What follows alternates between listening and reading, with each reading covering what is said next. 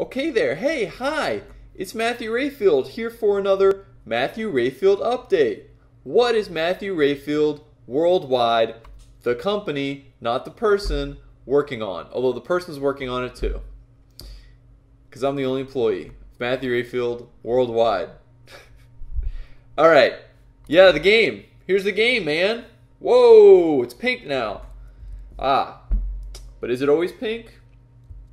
No, it's not. Once you enter one of these buildings, the color immediately changes.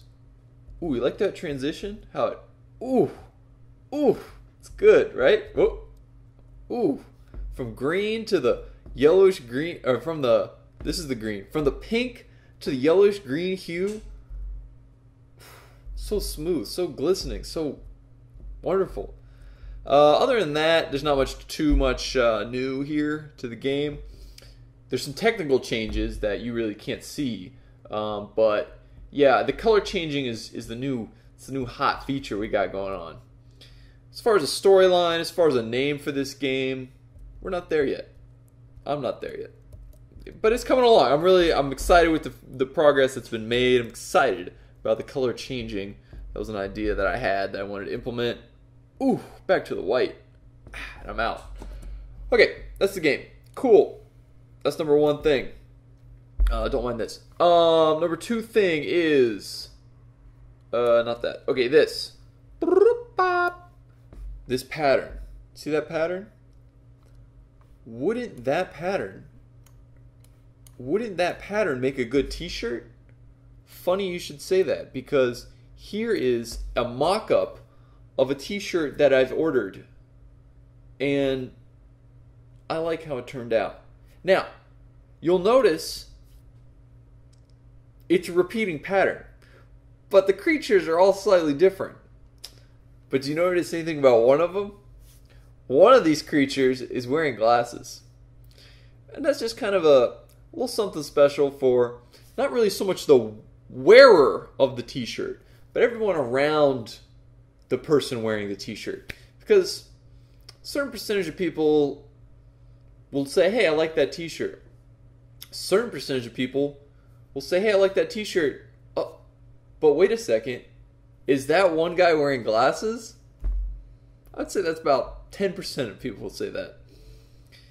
And some percentage of people won't like the t-shirt at all. But that's life. So anyways, a prototype's coming in the mail and we'll see how the t-shirt works out. Okay, there's one more project that Matthew Rayfield Worldwide is working on, and that is Big Baller. Now, here you can see the Big Baller prototype. I finally finished the prototype. The purple is 3D printed parts, got a jar, got a tennis ball. Now you may be asking, what does Big Baller do? Unfortunately, I cannot yet reveal that. Um, but I can tell you that today, this prototype was tested, and it didn't go super well.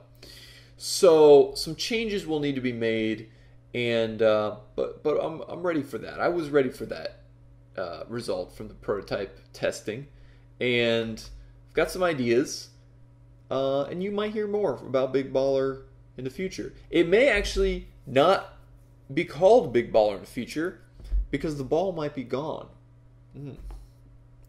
Think on that one. Wow. That's something to think about. Um, otherwise, what else? You know what? Not too much else. Uh, oh, here's the thing. No, I don't want to open that. Okay. So, otherwise, I've been working on a video. See this guy? See this character? Whoop.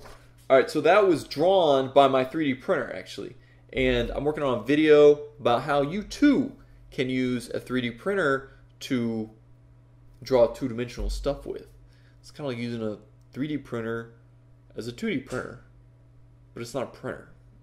If you catch my drift, because it's you really you're taking a marker and you just stick it on the printer and it does kind of that business.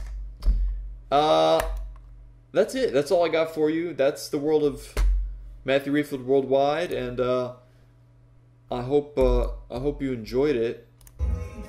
And um,